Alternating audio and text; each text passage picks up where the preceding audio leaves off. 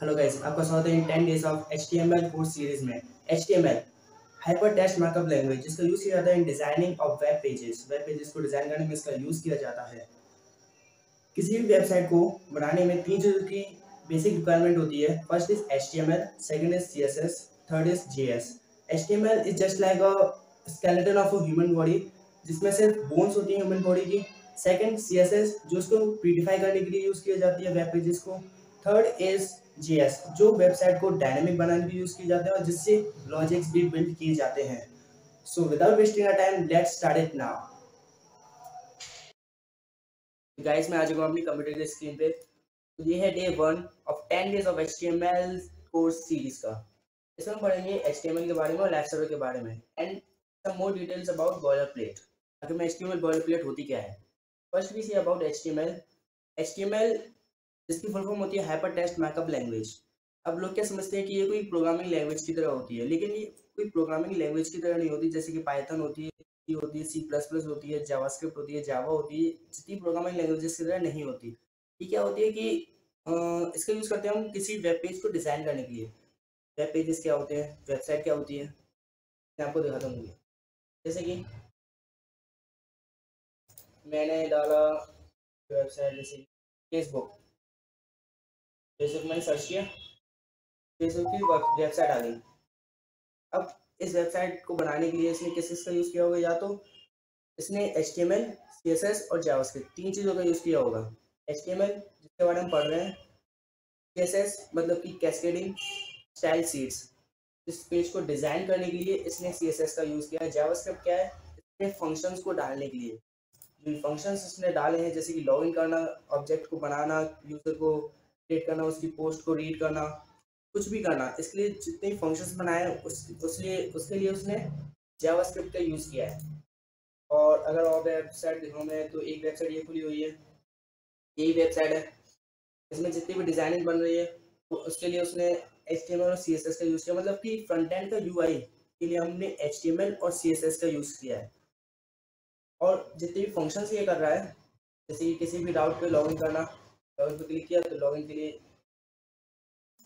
क्या एरर आना?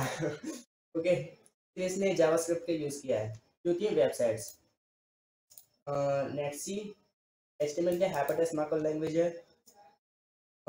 Is the standard markup language for documents design to be plate in a web browser किसी web browser में display करने के लिए वेब पेजेस को हम एच टी एम का मतलब ये है मतलब कि वेब पेजेस को डिज़ाइन करने के लिए यूज़ करना। वेबसाइट को बनाने के लिए तीन रिक्वायरमेंट्स होती है, मैंने आपको बता दिया H T M L C S S and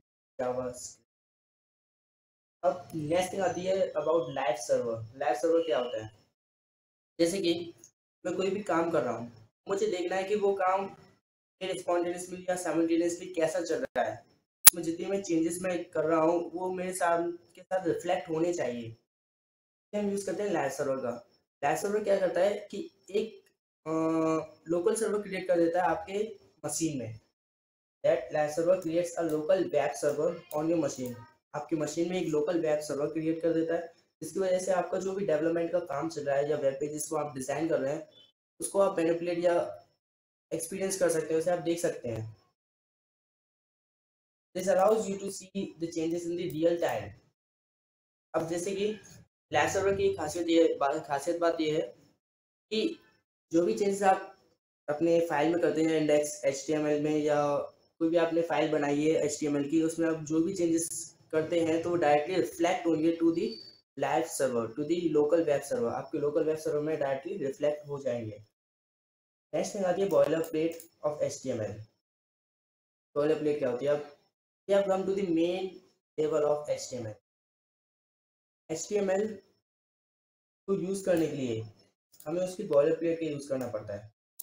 boiler plate क्या होती है? Boiler plate refers to the basic structure of an H किसी भी एच का बेसिक स्ट्रक्चर या हम कह सकते हैं, जैसे कि एक ह्यूमन बॉडी का स्केलेटन ह्यूमन बॉडी का जो स्केलेटन होता है, उसको हम कह सकते हैं एच और उसके ऊपर जो मसल्स या नर्व्स होती हैं, उन्हें हम कह सकते हैं सी एस एस और जब एक ह्यूमन बॉडी बन जाती है फ़ंक्शन करने लगती है इधर उधर मूवमेंट करने लगती है that we say it as JavaScript तीनों को मिला के क्या बनती है? ह्यूमन बॉडी ऐसी बनती है हमारी वेबसाइट लॉजिक समझ में आ गया होगा। नेक्स्ट बॉलर प्लेट अब बॉलर प्लेट क्या है? बेसिक स्ट्रक्चर समझा दिया। ये होती है एच की बॉलर प्लेट अब ये बॉलर प्लेट आपको याद करनी है? नहीं। इतना लोड नहीं है। मैं भी ज़्यादा चीज़ याद नहीं रखता।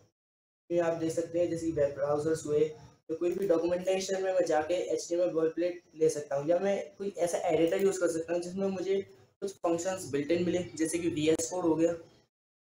ओके इसमें एक फ़ाइल बनाता हूँ index dot H T M L file बनाए या तो मुझे अब ये बॉल याद रहे, मेरे माइंड में जिसलिए मैं लिख सकूँ। या इसमें एक फ़ंक्शन होता है या इसमें एक शॉर्टकट की होती है दैट इज़ एक्सक्लेमेटरी मार्क तो मैं प्रेस करके पूरी की पूरी HTML की बॉलर प्लेट ले सकता हूँ यूज़ कर सकता हूँ उसे। ये मेरी पूरी बॉलर प्लेट आ गई। This is the power of VS code अब बॉलर प्लेट क्या होती है? बॉलर प्लेट स्ट्रक्चर मैंने आपको बता दिया, अब उसमें मैं जो भी लिखूँ मैं लिखा? हेलो वर्ल्ड हेलो वर्ल्ड मैंने लिखा, मैंने सेव कर दिया। अब मैंने राइट हैंड साइड के माउस पे क्लिक की। फिर ऑप्शंस खुल के आ गया मैं गया ओपन विद लाइव सर्वर अब सर्वर आपके इसमें आएगा नहीं क्योंकि आपको एक एक्सटेंशन डाउनलोड करनी पड़ेगी एस कोड में, क्योंकि लाइव सर्वर के नाम से। लाइव सर्वर क्या एक्सटेंशन पहले आपको इंस्टॉल करनी पड़ेगी अपने वी एस कोड में, उसके बाद आपको ये ऑप्शन दिखेगा लाइव सर्वर वाला। लाइव सर्वर पे क्लिक करना है। कि आपके लोकल वेब सर्वर पे आपके लिए वेब पेज को खड़ा कर दिया इसने। मतलब कि आपको दिखा रहा है कि आपने जो वेब पेज बनाया, वो ऐसा दिखेगा किसी भी यूज़र को। अगर मैं इसमें क्लिक करता हूँ, जैसे मैं लिखता हूँ और लिख के देखता हूँ मैं। जैसे कि मैंने लिखा hello world the first day of HTML course अब मैंने डायरेक्टली इसको मैंने डायरेक्टली इसको सेव किया कंट्रोल प्लस एस से। अपने सर्वर पे गया चेंजेस डायरेक्टली रिफ्लेक्ट हो गए मुझे मैनुअली टाइप नहीं करना पड़ा, मुझे मैनुअली फ़ाइल सेलेक्ट नहीं करनी पड़ी तो चेंजेस डायरेक्टली यहीं पर रिफ्लेक्ट हो गए this is the live server ये होता है live server next that's server wall plate खत्म। अब कुछ टैग्स का हम यूज़ करते हैं। अब ऐसा तो है नहीं कि एक hello this world this is the first day of H course लिखने से मेरी एक वेबसाइट बन जाएगी। या मेरा यूआई बन जाएगा नहीं। इसलिए मुझे इसमें और भी चीज़ें लिखनी पड़ेंगी। इसमें मुझे और भी टैग्स डालने पड़ेंगे। जैसे कि टाइटल का टैग जैसे कि टाइटल का टैग हुआ पैराग्राफ टैग हुआ स्ट्रॉन्ग टैग हुआ आ, कुछ सी के टैग्स भी होते हैं बोल्ड वाले इटैलिक वाले। तो इन टैग्स का मुझे यूज़ करके मैं वेबसाइट वेब पेज को खड़ा कर सकता हूँ। तो आगे वाली क्लासेस मतलब कि आगे भी वीडियोस हम देखेंगे अबाउट टाइटल टैग क्या होता है हेड टैग क्या होता है बॉडी मतलब कि इस पूरे बॉलर प्लेट के बारे में जानेंगे और जो एक्स्ट्रा टैक्स होते हैं एच यूज़ किए जाते हैं, किसी वेब पेज को बनाने के उनके बारे में जानेंगे। इसी के साथ अगर आपने ten days of H course की वीडियो को एक्सेस नहीं किया तो एक्सेस कर लीजिए। यहीं पर सारी वीडियोस को अपलोड किया जाएगा। तो लेट्स थैंक यू